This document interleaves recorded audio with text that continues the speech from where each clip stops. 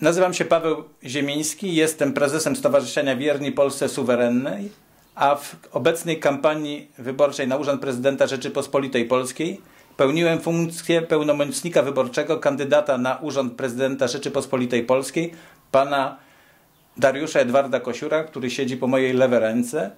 Dalej członek zarządu Stowarzyszenia Wierni Polsce Suwerennej oraz znany zapewne opinii publicznej w Polsce, pan reżyser Bogdan Poręba. Oddaję głos panom siedzącym obok.